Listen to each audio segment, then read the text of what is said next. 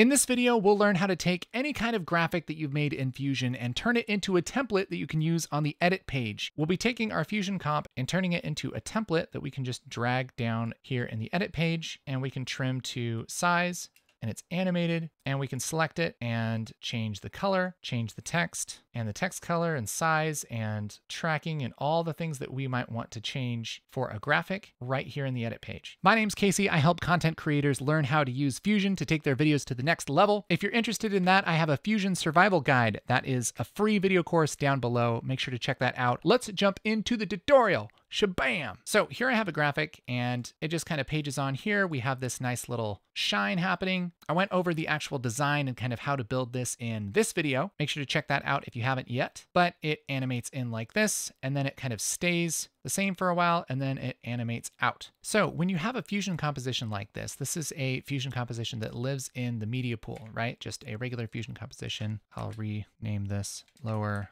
third. If I go to a timeline, bring in some kind of video here, I can grab this fusion composition right from the media pool and just drag it in and that would work. And so if you're just making like one, it's not that big of a deal to just make this as a fusion composition and just drag it in. But if you're going to, you know, use this for multiple different videos or you're going to have multiple different names or something like that, probably going to want to make this into a template. Now, there's a couple things to keep in mind if you're going to make a template. When you adjust the length of the lower third, the animation is not going to work out. So at the beginning, it animates in, and then at the end, it animates out, but we don't have enough video for that. So if I take this end and move it in like this, this doesn't animate out because the keyframes are actually over here, right? So how do we fix that? Well, let's go ahead and double click back into our lower third here. And we can fix this really simply with an effect called keyframe stretcher. Now there are a couple different ways to put on a keyframe stretcher. One way you can do it is just add it as a tool. So as a node after everything. So I could hit shift spacebar and type KEY. That'll bring up keyframe stretcher or KFS like that. Uh, enter. And what keyframe stretcher does, if we look at our keyframes here, I'll just bring up our keyframes in the keyframe panel. If we think about our animation as having our beginning keyframes and then it's kind of static in the middle and then we have our ending keyframes. Keyframe stretcher will stretch this middle section and keep the end frames and the beginning frames. So all we have to do is set this upright. So our first animation is from frame 0 to frame 10, and our ending animation is frame 110 to 120. So if we select our keyframe stretcher in our nodes and go up to our inspector, we need to set a couple of our properties here. The first is the source start and end. So we're going to go to the end here and we're at frame 119. So let's just say 119 like this. And we want to set the stretch start and stretch end to only select this in between space where nothing is happening, right? So starting at frame, you know, 11 or 12, we can kind of give it a couple frames. That would be just fine. So let's say, let's have this start at frame 12. Okay. And then the end, that's going to be frame, ooh, let's say 109, something like that. So for stretch end, we'll say 108. Okay, so now what we've done is we've told keyframe stretcher that anything that happens between frame 12 and frame 108 is okay just to kind of stretch out because nothing's happening. It's just static, right? So now what this will do is stretch this middle part to fill the length of the clip. So if we bring this down with our keyframe stretcher on it, we have this ending right here. And if we extend it out a lot, it's going to stretch that middle part and then it's still going to move out like that. The problem is that we can't make this shorter. We can only make it longer. So a good thing to do would be just to, when we create a new fusion composition, we can make this duration really short. So I can make this like one second and hit create. We'll just call this lower third short. And I'll just grab all of my nodes from this comp hit control C, double click and open this new comp and hit control V. And I can plug that into the media out and this will animate in. We can go to our keyframes here and we can take these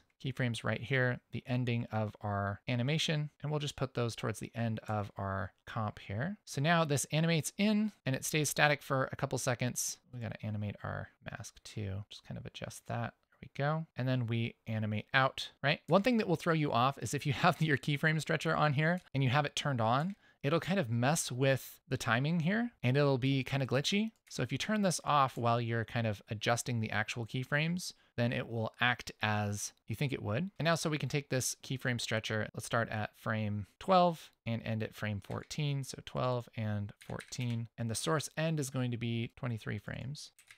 So now what this will do, this should play back exactly how we would expect it to. Okay. And we have that stretch happening just in this blank spot, these couple frames right here. Then we turn on our keyframe stretcher and it should act as expected. And that's working. So now we can go to the edit page and we can drag this short lower third on here. This is about as short as you'd ever want it. And we can extend this to the length of the clip. And now it animates in, holds there for a minute and whoosh, animates out. Very nice. And so what you can do is kind of preview if your template is going to work just by using this Fusion comp. Make sure it works for all different lengths and stuff. And yeah, that's working pretty well. Cool. And now it's time to make this into an actual template. So I'm going to open up our lower third short and we're going to take note of what we want to change in the edit page. So one thing is we're going to want to change this text we might want to change the color, and let's just start with that. So we'll just kind of remember that. I'm gonna select all of the nodes except for media out, and I'll right click here on keyframe stretcher. You can right click on any of the nodes, and let's go up to macro, create macro. This brings up the macro editor, and this is kind of a strange interface, but this is how we select what we want to be able to adjust in the edit page. Anything that is this kind of reddish orange is going to be output.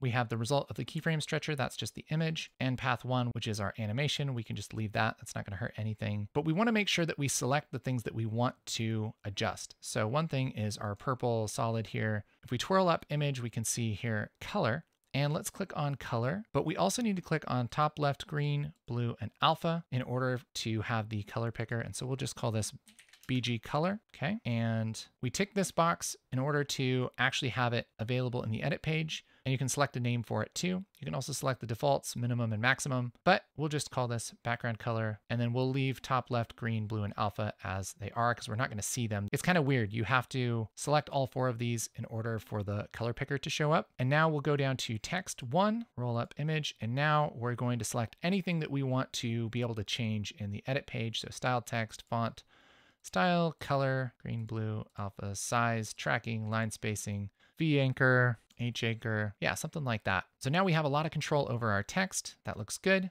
And we'll call this clean lower third file save as. And I'll save this somewhere really pro like our desktop. Just say clean lower third dot setting and hit save. Now to install this, there are a couple different ways you can do it. Probably the easiest way is just to open up the effects panel in Fusion and go down to templates, edit, titles, and we can just drag this settings file into these titles here. So here we have clean lower third dot setting. I'll grab this and just drag it in and that'll add it to our titles. So if I scroll down here, we should somewhere have clean lower third. There we go, clean lower third. Then we can go to the edit page and we should have this in our effects library under titles, clean lower third. There we go. I can drag this in like this and there we go. And I should be able to make this shorter and it works fine. So there we go. And if I select this, we have our text. We can change our background color. There we go. Look at that. Beautiful. You can make your own templates, baby. That's awesome. So yeah, not too bad, huh? Little little way to uh, make your own templates in Fusion. Pretty cool. Hey, if you're a content creator and you want to learn more about Fusion, check out the Fusion Survival Guide. It will teach you all about working in Fusion, kind of my top 10 tips for that. And we also are making so much more Fusion stuff on the way. So make sure to subscribe and like and all the things the YouTubers usually tell you to do. Really, really all I want to know is what do you want to learn next? Why don't you why don't you put it in the in the I almost said chat. why don't you put it down in the descript the the comments? I know I know a lot about how YouTube works. Uh you're welcome.